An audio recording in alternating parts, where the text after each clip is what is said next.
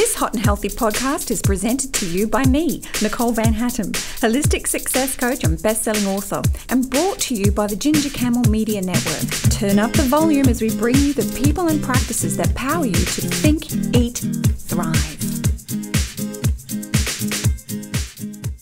Welcome to another episode of Hot and Healthy. And my guest today is Emily Alp. She is a yogini and a science writer, and she's something very valuable to share with each of us. Welcome to the show. Thank you. So, we were talking just before we started recording about your health journey and how it resulted in being in this amazing book, this best selling book, One Crazy Broccoli. And you, in the book, you share your story and you share it with great openness. And I'd love it if you'd share it with the audience today as well. Sure. Um, I was when I was born, I faced some stresses through my mother leaving when I was young, and a lot of different people coming in to raise me and moving around a lot. And underneath that, I had a genetic condition called celiac, which is now becoming more and more, dare I say, popular, but um, relevant to a lot more people in general. And when I was facing it, there wasn't a lot known about it. So I, as a young child, faced allergies, asthma, a lot of physical setbacks, and I was quite weak and slightly anemic and I think there wasn't a lot of attention on me. So I just started to become my own little navigator hmm. through life. And I used the analogy in the book that I felt like I was a baby sea turtle trying to find the shore. And when I, I started to take more responsibility for my own journey, I feel like I was quite young about it because my parents really weren't around and I started to do a lot of research and, and look around for health solutions. And I was looking for a good 15 years before I met an acupuncturist who told me, I think you might want to stop eating wheat. Mm. And I had at that point read so much literature on health that I made the connection that it was probably wheat. And I ardently cut out wheat from my diet.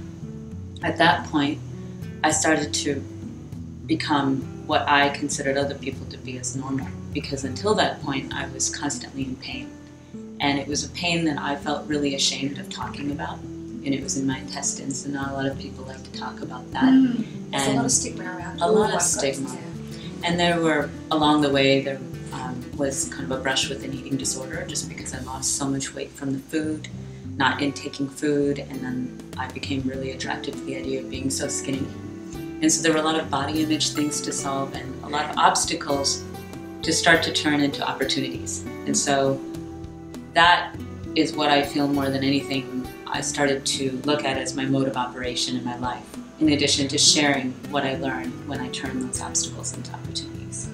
So the, the, the turnaround began when you met the acupuncturist? That was the main turnaround. That was when I was 25, so that had been about 12, 13 years of constant pain up until meeting him and just being really secretive and trying all kinds of elimination diets until I met him. And a lot of people aren't really aware of what celiac is. Can you share a little bit about what, what is celiac? Sure. It's a genetic condition and it's based on, they can tell you if you have the haplotype or not, or if one of your pairs of genes uh, displays something along it that, that indicates that you are a candidate for celiac that genetic expression or genotype turns into a phenotype, which is uh, basically your inability to produce an enzyme that breaks down the gluten molecule. And when that molecule makes its way through the digestive tract unbroken, your digestive tract responds to it as a foreign object, and, a, and thus a huge immune response results. That immune response is considered autoimmune because you're basically attacking your own tissues. And then your intestines swell, you become, you, start to have leaky gut. In my case, my tooth was falling out, my, I was severely underweight, my hair was falling out. I was, it was really about maybe just like, I would say, a little more than half of the size I am now. I was very, very, very, very thin. Quite slight now. I would say I am, yeah. so that would be tiny. I was really tiny. I was really malnourished even though I was eating food. And was the malnourishment because your body wasn't absorbing the nutrition because of the leaky gut syndrome? Exactly. Which was the result of the celiac. Yes, and then the big manifestation of the disorder is in the large intestine because by the time the food reaches there, not, so little has happened to it. So your whole digestive tract is, is severely compromised. And um, there's a lot of pain involved. And I was going into vegetarian diets and eating wheat glutens. You know, so I was going in the wrong direction with the right intention, but I was constantly investigating what's going on here. And and I wanted a life. I wanted what I saw around me. And I would stop and say, why why can't I have this? What is it? And but I wouldn't stop cold there. I would just say, well, I want it. And just that was my only direction. And I had misdiagnoses along the way. I was given muscle relaxants, which I threw in the garbage.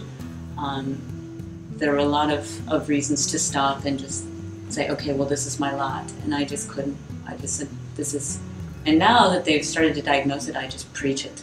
Because if anybody has symptoms, please go get this haplotype test. Please just see, because you could have more of a life than you realize. So if somebody is not diagnosed as celiac, how can they perhaps maybe listen to their own body and notice that maybe gluten is not working for them? Well, I think um, you mean where they could potentially have it, but they, they haven't gone to get the diagnosis. Uh, I would say if you have anything that remotely resembles IBS, for instance, irritable bowel, or like a constipation kind of diarrhea sh- charade going on, or um, Weight loss Weak. weight loss, even weight gain, because people might be eating to try to get the nourishment that they need. I mean, there were points when I, I gained weight as well, just trying to eat, eat, eat, and then it, it was becoming painful, and then I stopped, and that's in the story. Um, but yeah, a lot of bloating, because again, it manifests in the lower, well, large intestine, and again, that's not a popular subject, so people get really embarrassed about it. They also become very afraid that they're going to have to give up their favorite food Okay. Yeah. that to me is the biggest obstacle in people's minds. I have to give up my favorite food. What they don't realize is what they gain. And what they don't realize are all the options out there and how creative they can get with food as a result of that necessary elimination of gluten. So don't focus on what you can't have, focus on what you can have, amplify that. Yeah. Two things you mentioned just in this interview that I that seem to be the the reason that you're so successful with your health turnaround. One is that you you didn't stop until you could create the life that you wanted. Mm-hmm. So you didn't take a diagnosis for a weakness, and you didn't stop until you got the answers that you wanted and that you needed to have the quality of life that you wanted. hmm And the other one is embracing, well, what opportunities does this provide me with? What food can I eat Mhm. rather than what I can't have? So rather than thinking deprivation, thinking a different kind of abundance. Right. What, if someone is recently diagnosed with celiacs, what would you say to them? I would say, aren't you lucky? Aren't you lucky to know? And aren't you lucky to have this signal that this is the way you can take care of yourself in this world that's giving you all kinds of signals? This is your first signal from within, big signal to say, this is what I need.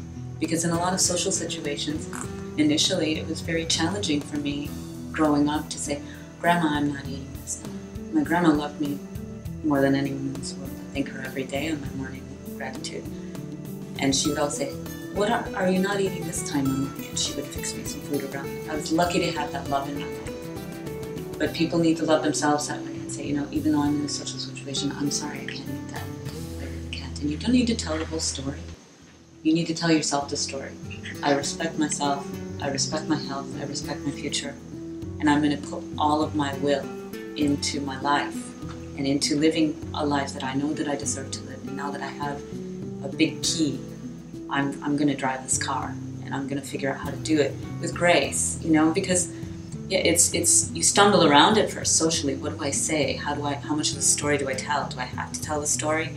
And you learn a lot about yourself and others when you do that. You learn that you have every right to say, "I don't really, I can't eat that. Thank you."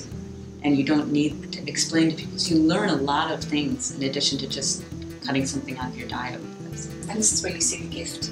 Yeah, I see so many things you can learn about self-respect and um, and also just superficially, like when they bring the donuts into the office, you say, "I honestly can't eat that."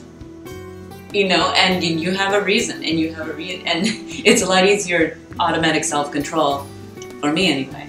You know. Well, thank you so much for sharing. Yeah. I really appreciate it. And thank you for sharing the book as well. Pleasure.